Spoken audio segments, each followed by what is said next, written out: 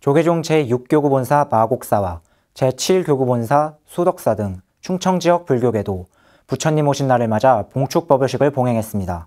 이경진 기자입니다. 조계종 제6교구 본사 공주 마곡사가 경내 대광보전 앞마당에서 불기 2565년 봉축 법요식을 봉행했습니다. 명종 오타와 육복 공양을 시작으로 화동들과 함께 단상에 오른 주지 원경 스님과 이필영 충남도 행정부지사, 김정섭 공주시장, 정진석 국회의원 등은 아기 부처님을 씻겨드리는 관불의식과 헌화로 부처님 오신 날을 축하했습니다. 코로나19를 종식시키고 분열로 치닫는 현실을 화학과 상생하고 남을 배려하는 마음으로 자비를 실천하는 삶을 영위하시길 기원 드리겠습니다.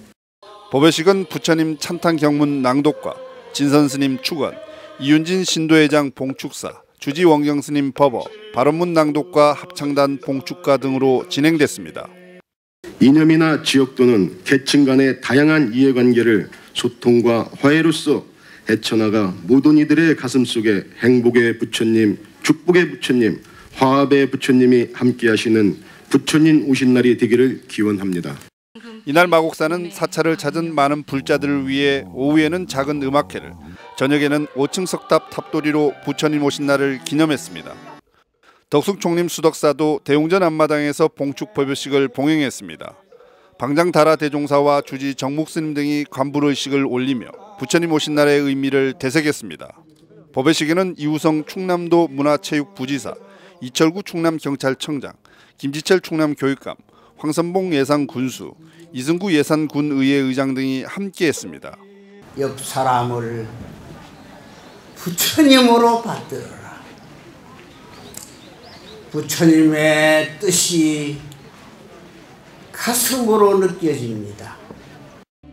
주지 정목 스님은 온 세상이 한 마음으로 어려움을 극복하고 평화롭고 행복한 지혜와 자비의 길로 함께 나아가길 발언했습니다.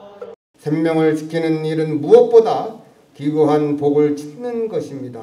병자들을 돌보는 의료인들과 모든 공덕자들의 건강과 행복을 발언하며 함께 보살행을 실천해 나가겠습니다.